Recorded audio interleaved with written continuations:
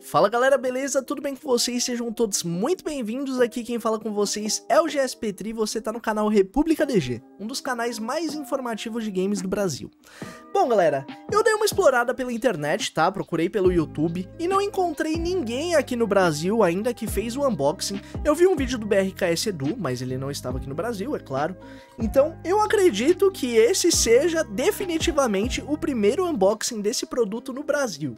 E eu tô falando dele galera, tô falando do PlayStation Portal, que ainda não foi lançado aqui, acredito que deva chegar aí nas próximas semanas, mas eu consegui uma cópia dele aqui em São Paulo pela loja Cut Games. Então, queria passar e agradecer, obviamente, a galera da Cut Games, o Vini, o Thiago e toda essa galera.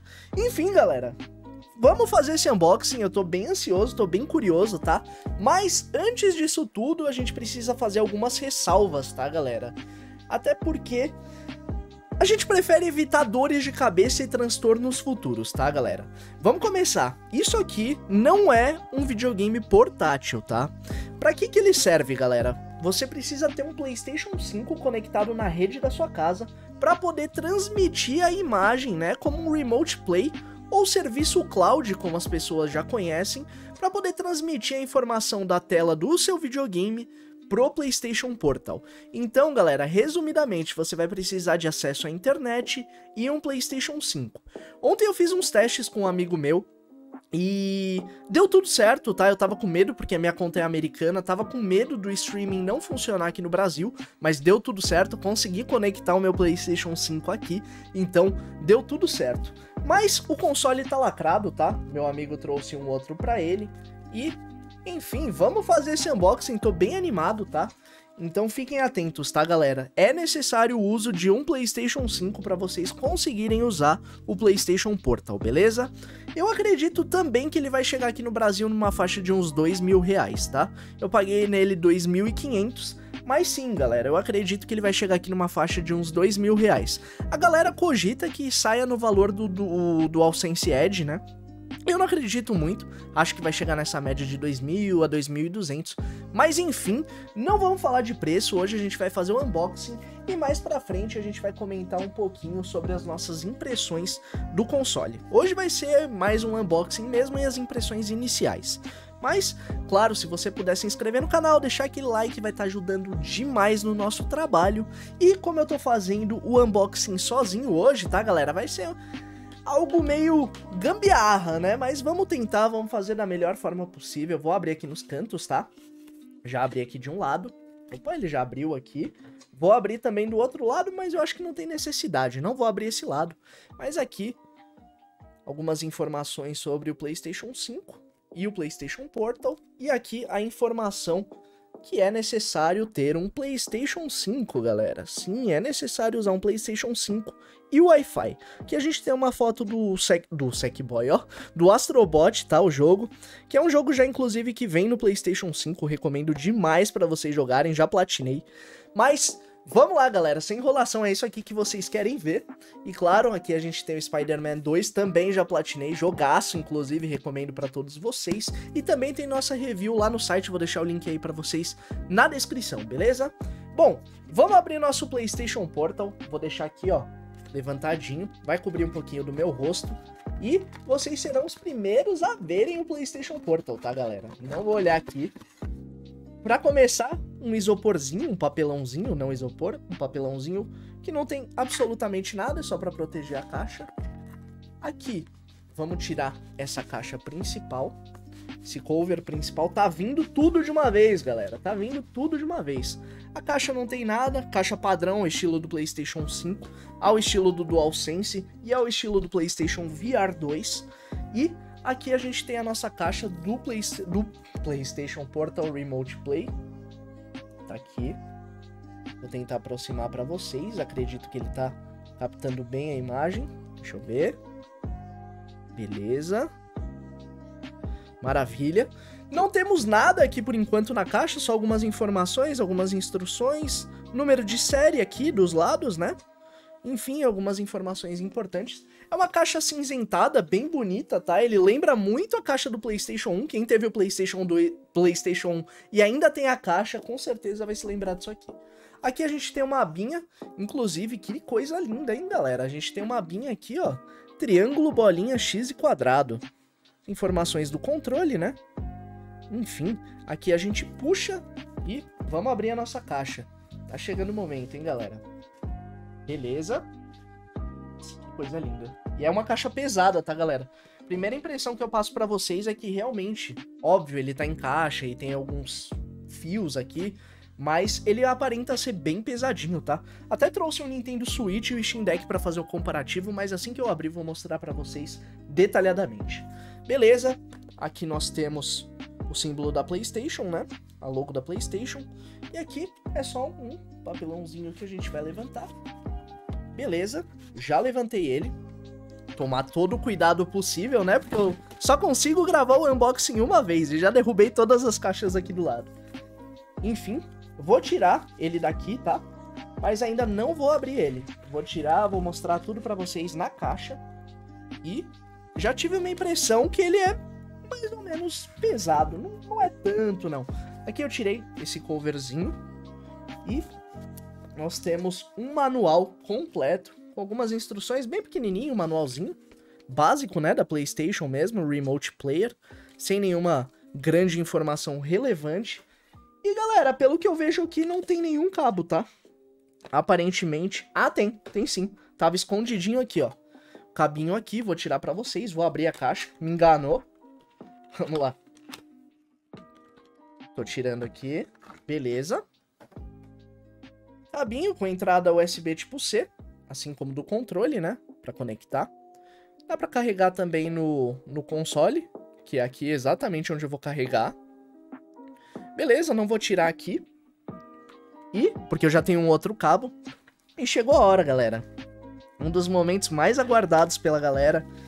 Quem gosta desse tipo de tecnologia. Eu noto que.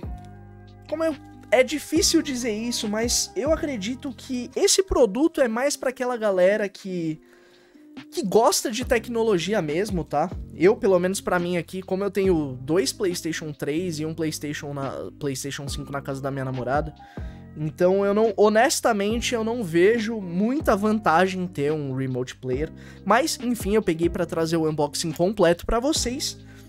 E Novamente, galera, se você tem um outro PlayStation 5, não tem tanta necessidade disso. Caso contrário, se muitas pessoas na sua casa acabam assistindo TV e você quer jogar, você pode aproveitar, ficar do lado da pessoa que você gosta e jogar. Mas, enfim, nossa senhora, a tela é maior do que eu imaginava, galera. A tela é muito grande, muito, muito grande. Então, vamos lá.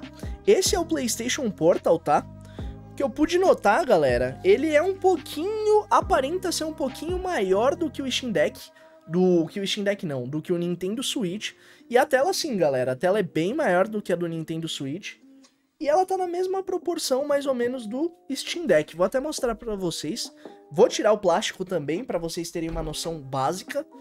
Mas dá pra ter uma ideia já, a tela tá um pouquinho suja, tá? Confesso pra vocês, os dedão aí acabei tocando muito na tela. Mas enfim, acredito que seja bem similar o tamanho da tela. E a gente tem o Nintendo Switch, que pode colocar aqui do lado, edição de The Legend of Zelda Tears of the Kingdom. Vou mostrar para vocês também. A tela parece ser bem menor, mas a pegada, galera, eu achei bem confortável, tá? Um pouquinho que eu peguei aqui para vocês, vou mostrar a parte de trás também. Ele simula mesmo um DualSense gigante, né? É bem confortável a pegada, galera. Eu pelo menos achei bem confortável aqui.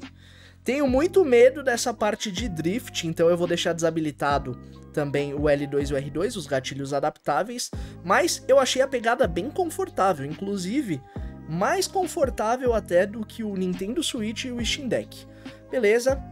Aqui nós temos também uma entrada USB tipo C. E aqui a entrada para fone, P2, enfim, sem grandes mistérios. Aqui a gente tem um formato padrão do DualSense com algumas alterações, tá galera? Aqui é uma diferença um tanto quanto significativa e eu vou ficar confuso no começo, tá? A gente tem um botão PS aqui para poder é, acessar os menus do console, do PlayStation, assim como funciona no DualSense mesmo. E agora ele tá no canto esquerdo, galera, o que vai ser um pouco estranho, porque muitas vezes eu vou tentar apertar para poder tirar algum print, alguma coisa, e com certeza eu vou apertar esse botão. Mas enfim, eu acho que é questão de costume. Aqui a gente tem um botão para mutar o microfone, botão para pausar o jogo. Aqui nós temos o, o, botão de print, no caso que eu falei para vocês, que eu mencionei. Aqui a gente tem as saídas do microfone, né? Do áudio, no caso. Botões para aumentar e diminuir o som. É meio confuso porque a câmera pega de lado aqui, galera. Aqui a gente tem um botão power e aqui a gente tem o botão para poder sincronizar os fones de ouvido. Eu acho que é isso, galera. Deu para mostrar aqui o básico para vocês. Eu acho que não tem muitas informações. Inclusive, eu pretendo logo em breve, né, colocar uma película. Ainda não chegou, já peguei no Mercado Livre. Pretendo pegar uma película para ele muito em breve, porque eu tenho muito medo de derrubar isso aqui. E com certeza colocar um par de grips para poder proteger essas borrachinhas. E, claro, colocar uma capa, talvez, né? Vamos ver se ele esquenta muito, quanto tempo dura a bateria. E chegou a hora da mágica, hein, galera? Esse papel aqui lembra muito do iPhone. E vamos lá, vamos fazer a mágica, galera. Um, dois, três e... Vai, vamos tirar o plástico do capitalismo. Que coisa gostosa, galera. Que plástico delicioso de tirar. Beleza, tirei aqui. E agora sim, vocês podem ver a tela. Vou colocar para vocês lado a lado também as telas. Como vocês podem ver, essa tela aqui é muito maior, um pouquinho maior, não muito maior, mas um pouquinho maior. E similar ao tamanho da tela do Steam Deck. Se eu não estiver falando besteira. Mas eu acho que eles são bem similares, estão bem próximos ali um do outro. Beleza, galera? Vamos ligar aqui o nosso PlayStation Portal. Já deixei o meu PlayStation 5 lá embaixo ligado, podia ligar esse aqui, mas os jogos e as informações que eu tenho lá, eu vou usar aqui. Tô segurando o botão. Ligou, beleza. Vamos testar som, vamos testar todas essas coisas. Beleza, tô evitando ao máximo aqui tirar do ring light, mas o console ainda tá ligando, o portátil ainda tá ligando. Vamos lá. Carregando. Um pouquinho devagar, né? Mas, vambora. O que importa mesmo é ele funcionando, galera. Beleza? Aqui eu tenho que selecionar a minha língua. Vamos ver o som, tá, galera? Já dá pra escutar, tem uma musiquinha.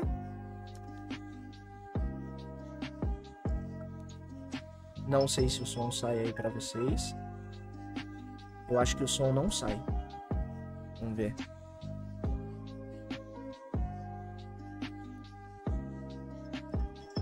Enfim, tem uma música. Não achei o som tão alto, tá?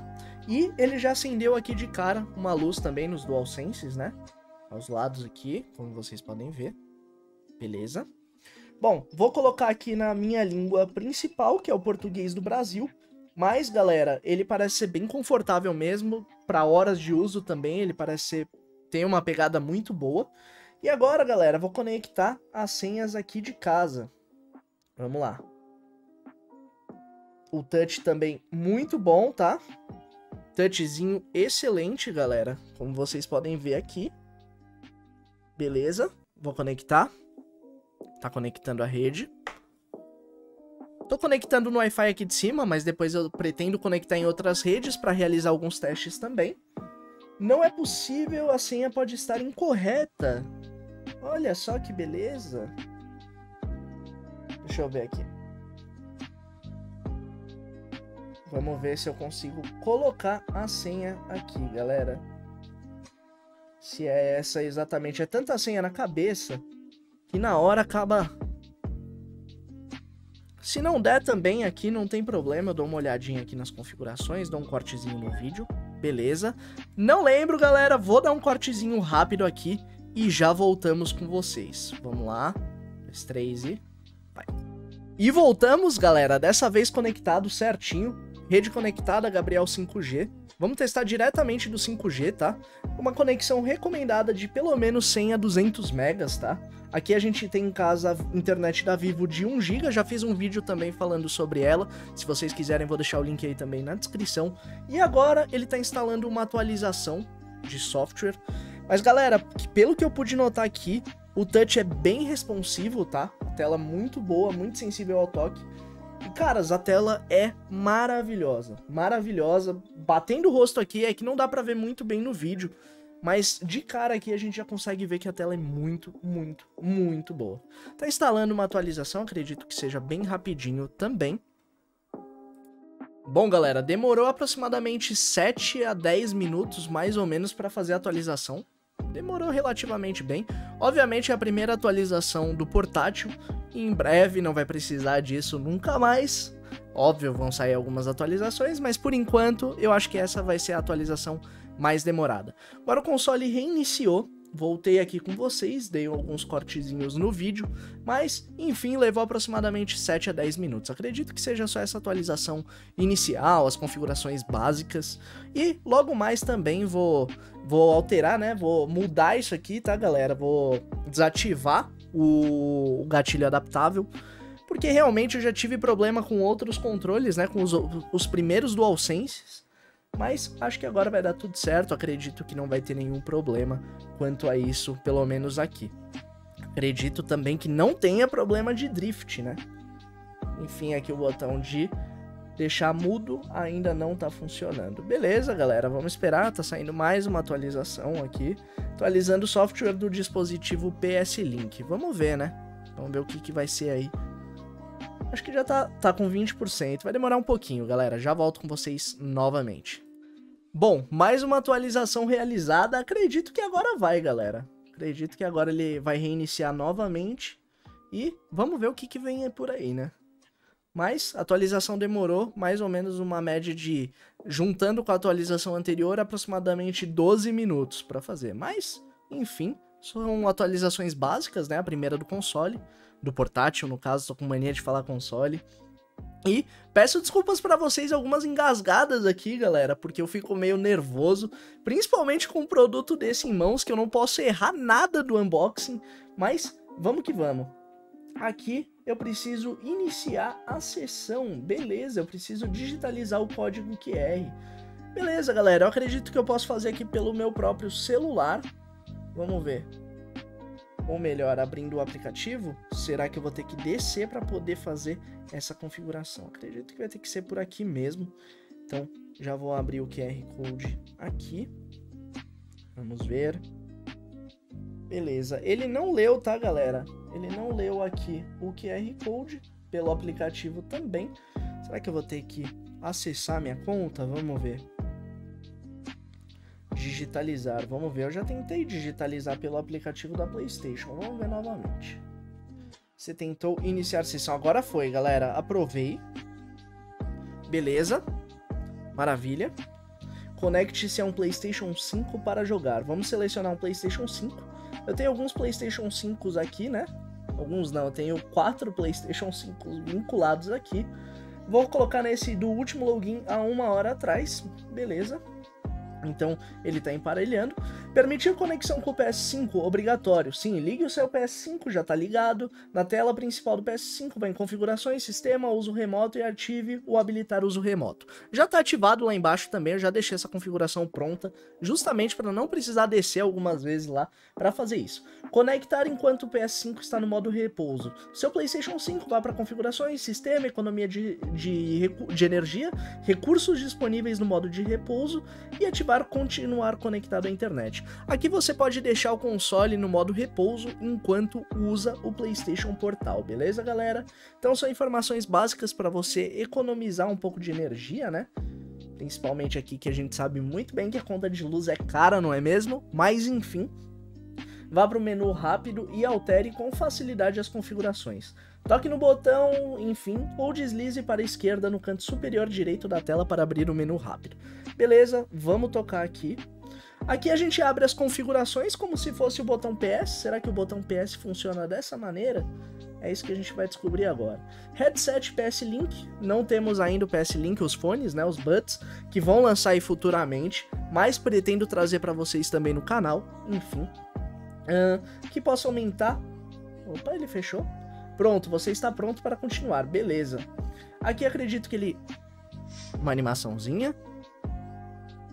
Conectando-se ao PlayStation 5. Daqui a pouquinho eu mostro o menu de configurações para vocês. Mas vamos lá, ele está logando ainda. Quanto tempo será que vai demorar? Vamos ver. Ontem, quando a gente fez os testes, eu e meu amigo fizemos o teste, aparentemente foi bem rápido, assim. Hoje tá demorando um pouquinho mais e não sei porquê. Mas, vamos ver.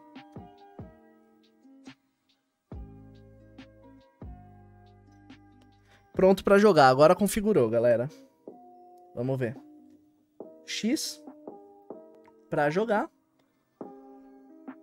Beleza. Aqui ele ainda tá carregando um pouquinho, tá? Vou testar o delay com vocês. Relativamente, o delay é bem mínimo, tá, galera? Pelo que eu tô acompanhando aqui, o delay é bem mínimo, tá? Temos alguns jogos aqui. Blasphemous, por exemplo. Ele já tá vinculado no meu console, tá, galera? Então aqui a gente tem Hot Wheels, temos WrestleQuest, Sea of Stars, enfim, o streaming ainda não tá das mil maravilhas, tá, galera? Ele tá carregando aos poucos aqui e aparentemente tá melhorando bem a imagem, mas o delay, pelo que eu pude notar aqui, é zero, tá, galera? Não consigo, por exemplo, abrir o meu menu, abrir as minhas configurações iniciais, deixa eu ver, perfil. Vamos ver. Consegui abrir aqui o meu menu, por exemplo, ó mostrando para vocês, consegui abrir o menu aqui. O delay é bem mínimo, tá? Não tive, até o momento, não tive nenhum delay assim que atrapalhasse, né? Mas enfim, consegui ver aqui, consegui acessar. Agora a imagem melhorou muito, muito mesmo, que eu consigo passar os jogos que eu tenho, consigo abrir a PlayStation Store, consigo efetuar compras normalmente como se eu estivesse usando o meu console. Beleza, galera, agora vamos lá. Vou testar alguns botões, algumas configurações aqui com você. Com vocês, né, no caso. Botão PS, beleza, ele abre normalmente. Assim como no console. Ele mostra aqui os últimos jogos que eu baixei. Bob Esponja, Hogwarts Legacy, God of War, The Last Fate, enfim. Tem muitos jogos aqui. Assim como no console, né? Enfim, tudo... Acredito que aqui eu já mostrei o básico para vocês. Botão ferramenta de fazer capturas, beleza. Capturar vídeo, captura de tela, ok. Beleza. O delay, novamente, galera, é bem baixo. Não tive essa impressão. E a pegada, galera, é bem confortável. Para jogar durante horas e horas, ele parece ser bem confortável. E ele tem aqui como se fosse alguns touchpads, né, galera? A gente consegue interagir em alguns jogos utilizando o touchpad, como vocês podem ver. Eu vou usar pouquíssimas vezes, tá? Mas vocês podem usar a qualquer momento. São dois touchpads, tanto do lado esquerdo como do lado direito. Você pode ativar só com um toque na tela. Enfim, aqui a gente pode desmutar e multar, beleza. Options, como funciona normalmente nos games. E agora, galera, eu queria testar aquela configuração inicial como é que eu posso fazer isso aqui? Aqui em cima? Como é que eu posso fazer aquela configuração que mostrou inicialmente? Ainda tenho minhas dúvidas, galera. Vamos ver. Deixa eu bloquear aqui a tela para ver o que, que vai acontecer. Tela bloqueada. Vamos desbloquear a nossa tela. Para desbloquear, pressione o botão PS. Beleza. Ah, e ele conecta normalmente aqui. Beleza, como se ele já tivesse vinculado mesmo. Agora, galera, eu tô só numa dúvida aqui, como é que eu volto? Como que eu habilito aquele menu, ó, aquela aba de cima para eu poder ver as minhas configurações? Será que eu preciso desconectar do PlayStation? Vamos ver. Vou testar aqui com vocês. Beleza, já tô na, sempre colocando o dedo aqui, galera. Vamos ver. Pera aí. Energia, desligar PS5. Aqui ele vai desconectar. Então eu tô desconectando do meu PlayStation 5. Ele tá desligando. Beleza, voltamos pro menu. E as caixas caíram, eu sabia que isso ia acontecer. A conexão com o seu PlayStation 5 foi perdida. Aqui eu tenho a opção de reconectar ou a opção de dar OK. Vamos ver aqui em cima. Ah, aqui a gente tem as opções dos consoles que a gente pode ligar. Também podemos deixar aqui no modo avião, aumentar ou diminuir o brilho. Eu jogo geralmente no máximo. que a tela é bem linda. E a gente tem opções de rede, sistema, exibição e brilho e controle. Vamos abrir o sistema para ver algumas das configurações que a gente tem. A gente tem software do sistema para poder atualizar o software. Temos idioma também, data e ele não está funcionando o touch, não sei porquê. Idioma de entrada, eu vou colocar português do Brasil também. Apesar que ele ainda não tem opção. Ele ainda não tem opção de português do Brasil, tá, galera? A câmera vai se mexer aqui um pouquinho comigo, mas ele não tem ainda a opção de português do Brasil, que é um tanto quanto estranho, tá? Mas enfim, aqui a gente tem a opção de data e hora e também temos a economia de energia que a gente pode usar para ele desligar a tela após um minuto. Quero saber em relação à bateria, galera. Quero saber sobre a bateria aqui. A gente tem a conexão, o PS Portal já está conectado. O que aconteceu foi que eu desliguei o meu console, mas o PS Portal permanece conectado.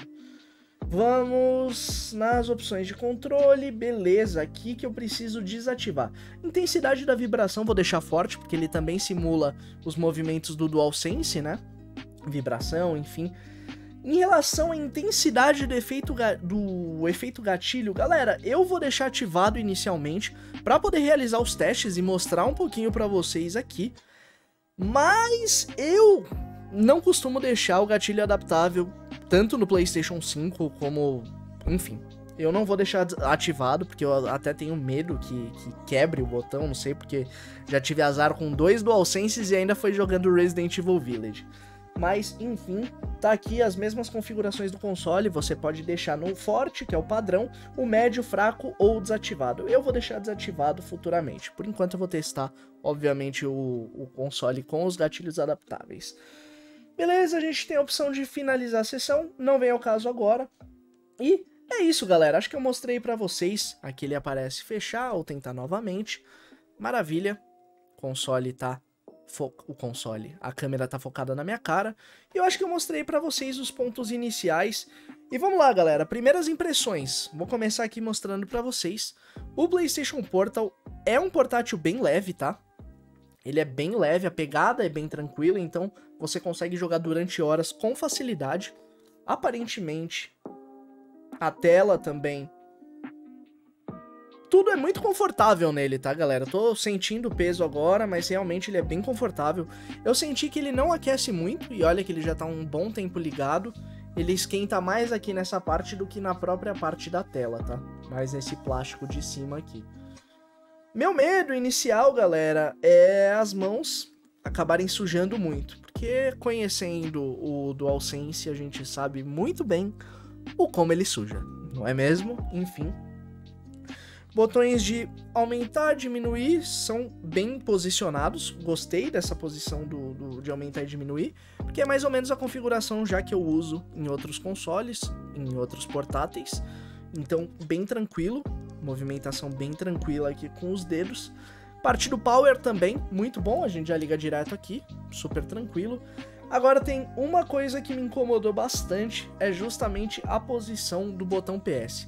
É claro, galera, Claro que isso aqui é questão de costume. Eu, particularmente, não gosto, porque eu já errei umas duas vezes. Só gravando aqui, mostrando para vocês, eu já errei umas duas vezes a posição do dedo. Hum, em relação ao microfone, a gente consegue desativar por aqui, não tem grandes segredos. Tirar print por aqui, assim como a gente já fazia anteriormente. Botão Options.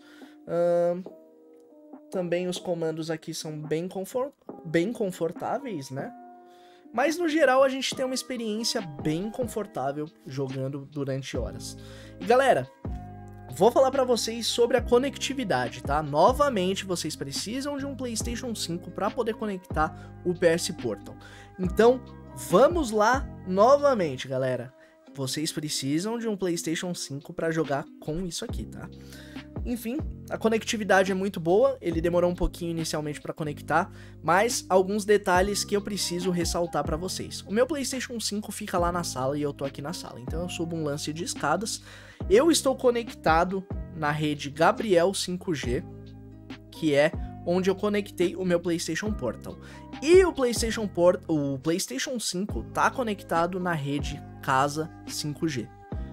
Então, galera, eu consegui utilizar outra rede com o PlayStation 5.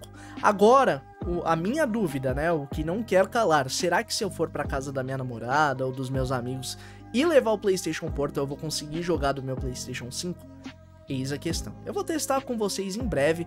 Meu amigo já fez esse teste, mas eu queria mostrar aqui e comprovar para vocês também esse funcionamento. E no geral, galera, uma experiência muito satisfatória. E para quem que é esse portátil? Vamos lá. Eu acredito, tá, galera? É que é muito difícil falar, porque eu até porque eu tenho três PlayStation 5, então é muito difícil falar sobre isso. Eu consigo pegar o meu PlayStation e jogar onde eu tiver, porque eu tenho dois aqui em casa e um na casa da minha namorada. Então é muito fácil o acesso para poder jogar. Mas eu acredito que esse console é focado para aqueles que gostam de tecnologia, tá? Que gostam de produtos diferenciados, que é o meu caso que não tem tanta necessidade, mas para pessoas que não possuem um console e querem transportar para outros lugares e preferem evitar levar o PlayStation 5 para o local, essa é uma boa indicação, tá? O PlayStation Portal é uma boa indicação para você. E temos algumas ressalvas, tá, galera? O PlayStation Portal chegou a 199 dólares nos Estados Unidos e em alguns outros países também, 200 euros, 200, não, 249 euros se eu não me engano. Me corrijam se eu estiver falando besteira aí nos comentários. Mas o console chegou a um valor relativamente alto. Vamos ser sinceros, porque a gente precisa de um PlayStation 5 e a gente precisa de um PlayStation Portal. Então, colocando na ponta do lápis, essa brincadeira vai sair aproximadamente 700 dólares. Convertendo aqui no Brasil, a gente tem um PlayStation 5 que custa uma média de 4 mil reais. Hoje em dia, nas promoções da Black Friday, se você acompanhar na Desconto em Games, você vai conseguir um PlayStation 5 por 3.500 reais. Mas, enfim, é, é, um console caro. A gente vai colocar aí uma média de 4 mil reais num PlayStation 5. Tô colocando um preço básico aqui, só para vocês terem ideia do que eu tô tentando dizer para vocês. Então aí a gente tem uma média de 4 mil reais no PlayStation 5 e sabe-se lá quanto que ele vai chegar aqui. Galera cogita aí que seja 1.500 reais, eu ainda acho que vai chegar na média de 2.000 a 2.200 reais. Então a gente coloca 4 mil reais mais 2 mil reais, 6 mil reais. Então assim, é um produto relativamente caro, é uma brincadeira um pouco cara. Mas, enfim, acredito que eu passei os pontos básicos para vocês, a pegada é excepcional consigo fazer um comparativo tranquilo. O Nintendo Switch é um dos consoles que eu menos gosto da pegada, eu acho meio desconfortável para jogar durante horas. Então, galera, a gente tem também o Steam Deck aqui para poder fazer esse comparativo geralzão. E ele é bem pesado, então assim, obviamente ele é um hardware sistema totalmente diferente do PlayStation Portal, porque aqui ele real, a gente realmente consegue jogar os jogos nativamente mas ele é pesado e durante horas de sessão acaba se tornando cansativo, até porque a pegada é pesada. Mas, enfim, o PlayStation Portal até o momento é um dos portáteis mais confortáveis que eu tive a oportunidade de jogar ou de testar para vocês. Mas Dito isso, galera, agora eu vou realizar alguns testes e vou deixar também para vocês acompanharem lá no site da República DG. Mais uma vez, se você puder se inscrever no canal, deixar aquele like vai estar tá ajudando demais no nosso trabalho e também convido vocês a participarem dos nossos grupos no WhatsApp e Telegram para poder aproveitar todas as ofertas aí da Black Friday. Bom, galera, eu vou ficando por aqui. Eu sou o GS Petri, tamo junto, valeu e até a próxima. Fui!